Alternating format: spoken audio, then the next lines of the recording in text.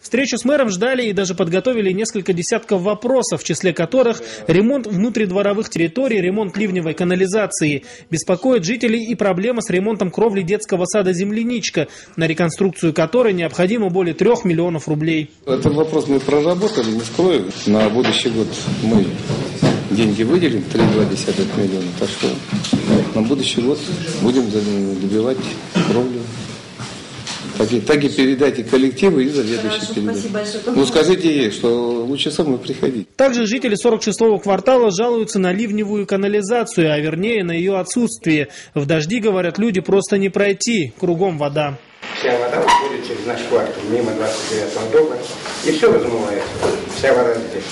Даже на стадионе, уж сколько песка управления не сыпь, бесполезно. Все уходит туда. И вот и причина в чем? По отводу вод Тут надо действительно надо посмотреть, надо проект надо делать. И ну, надо решить раз навсегда, чтобы потом не было проблем. Эту проблему удалось решить на месте. Ремонт ливневки в квартале внесли на 2013 год.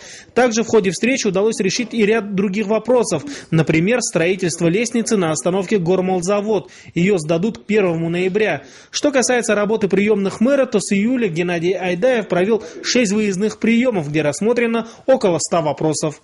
Батар Ламбаев, Александр Хамаганов. Новости дня.